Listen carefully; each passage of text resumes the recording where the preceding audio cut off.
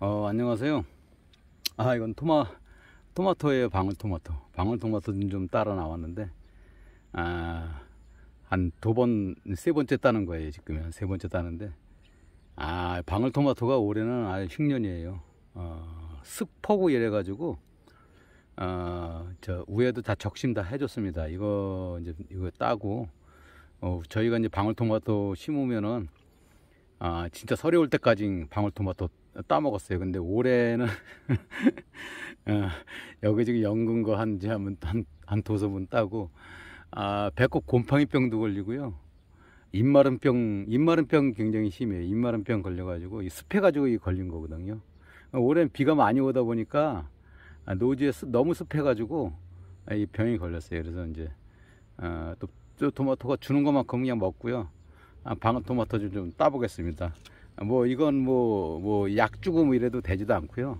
뭐 어쩔 수 없는 병입니다. 뭐 요만큼만 먹으라고 그랬으니까 아, 올해는 아, 요만큼만 아, 먹겠습니다. 제가 방울토마토 좀 따볼게요.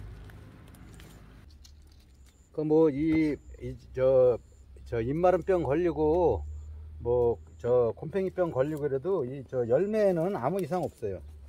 열매에는 아무 이상 없고요. 아, 맛있습니다 열매. 똑같이. 야, 근데 올해는 진짜 너무 비가 많이 오고 습해가지고 아, 방울토마토가 토마토가 잘 안 됐어요. 방울토마토는 웬만해 가지고 이 저 배꼽 곰팡이 병이 안 오는데요. 어, 옆에 이제 그 찰토마토에 그 와가지고 거기서 아, 옮겼어요 병이. 이, 이, 이 바람에 이게 날라다녀요. 이게 어, 방울토마토, 이 저 토마토 이 입마른 병이요. 바람에 날아다닙니다. 이게 들깨에도 나타나고요. 어, 저 상추도 그래, 상추. 상추도 말라 죽습니다. 상추도 말라 죽고 많아요, 이거 걸려서 죽는 것도. 어, 들깨도 그렇고 상추도 그렇고 뭐 여러 가지 뭐 많아요. 아, 방울토마토랑 토마토 이만큼 땄습니다. 아. 토마토 둘렌 10개, 방울토마토 10개, 아, 이 큰 토마토 이 10개 이렇게 심은 것 같아요. 근데 이만큼, 이만큼 밖에 못 땄습니다. 에, 예년에 비해서, 어, 토마토 수확량이 한 5분의 1 정도밖에 안 되는 것 같아요.